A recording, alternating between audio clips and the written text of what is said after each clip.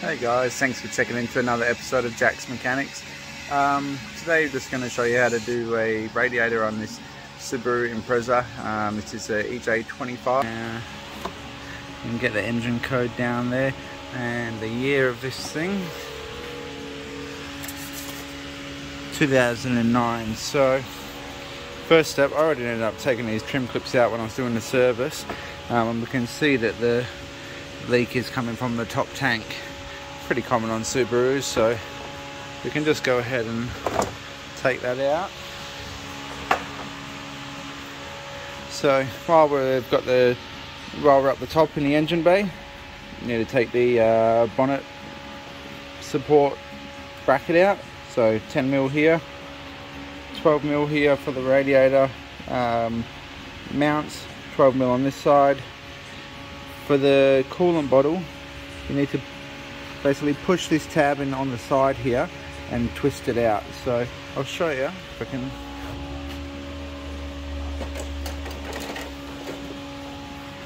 So flathead screwdriver, push that in like that.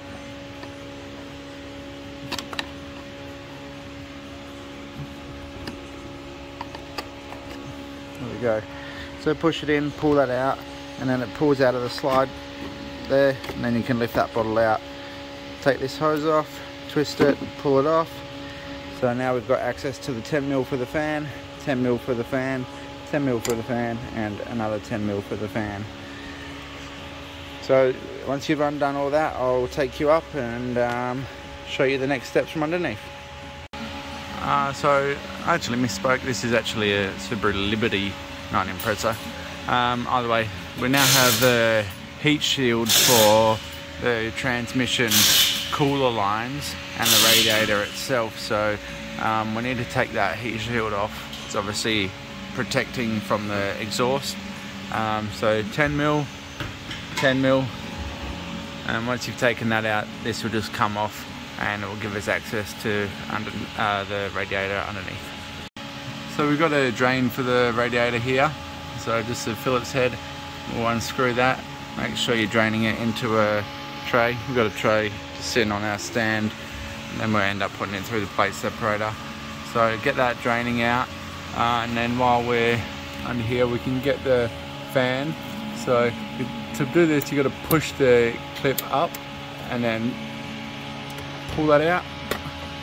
Just like that. So you can see that there.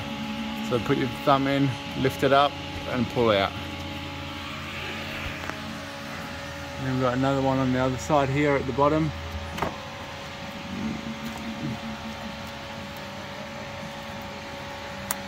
A little bit hard with one hand, might be easier once you get the bottom hose off and the transcooler hoses out the way. So to do that, clamp here, clamp here, and then we can just pull the lines out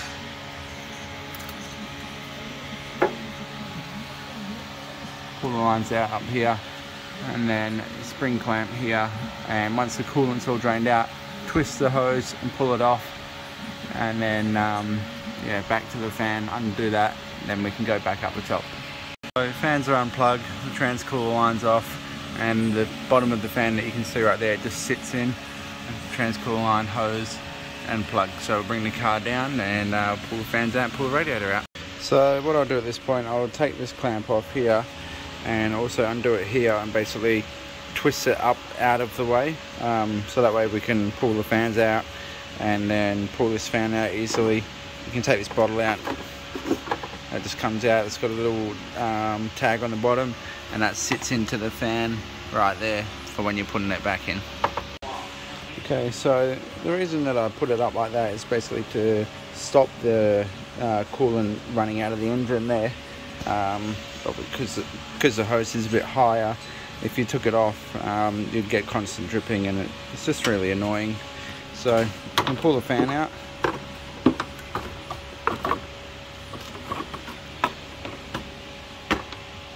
This comes out. Same on the other side.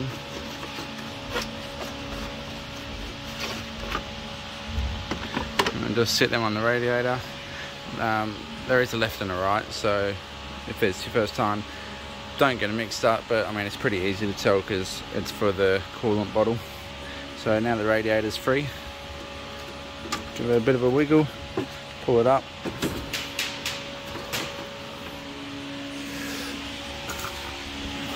There we go. So our rubber feet are still in the uh, holders, so that's nice and easy. So you just want to check that um, the radiator's the same. Uh, check that your transcooler uh, nuts are tight. They've obviously marked these when they've assembled the radiator, which is a sign that they are tight. Um, I always go ahead and check them. Make sure all your brackets are in the right spot and, and your spouts. Once you've uh, got that all sorted out, we can go ahead and drop it back in.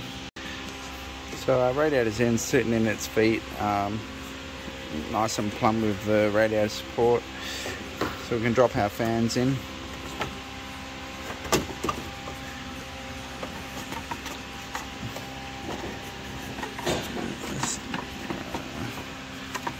I'll just set them there and then we'll put them in at the at the bottom. So drop that one in, drop that in, um, and then next step I'll, I'll take it back up.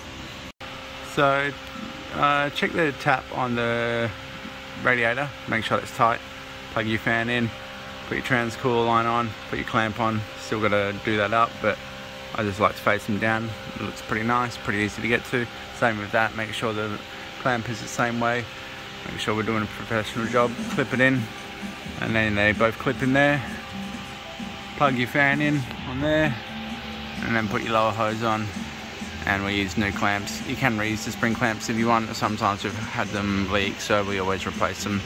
Just a cheap insurance, really. So that's all on. Clamps are all done up.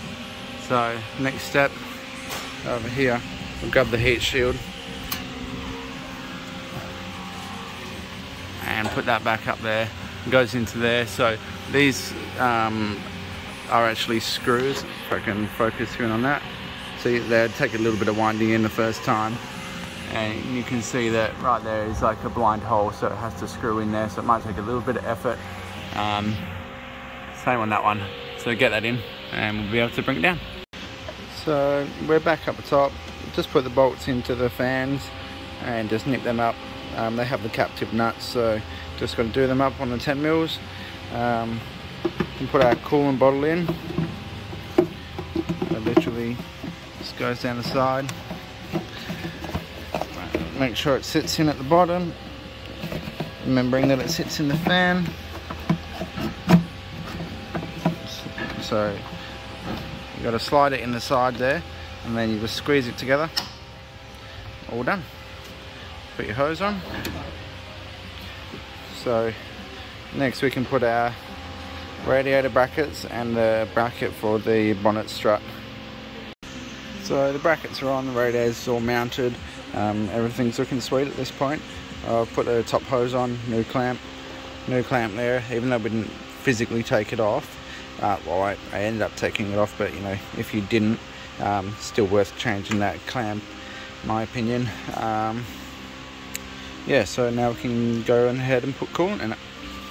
So I have this um, little cheetah bucket um, basically the idea behind this is to make the coolant the highest point above the engine so hopefully all the air once it starts circulating comes out here and obviously the coolant replaces it in the engine.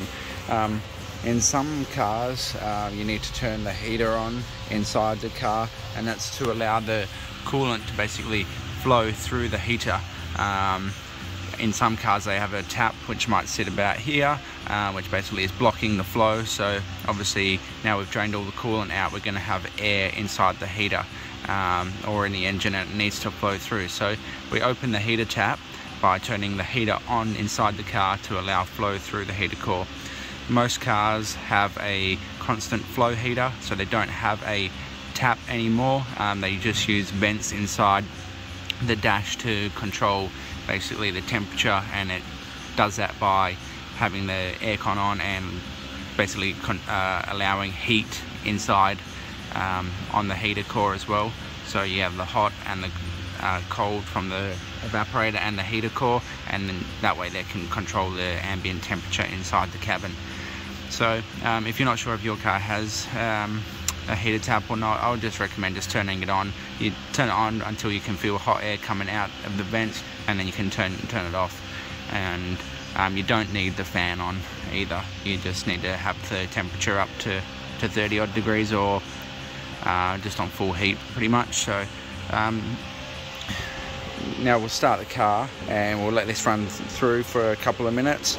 Um, if you don't have this style bucket, um, obviously fill it up to the top of the radiator, start the car, let it run through. It might take some more, fill it up, put the cap on, take it for a drive, watch the temperature. Uh, you probably need, you know, a good hard five minute drive um, and then yeah, we'll bring it back. So there we have it guys. Um, temperature gauge is up nice and steady.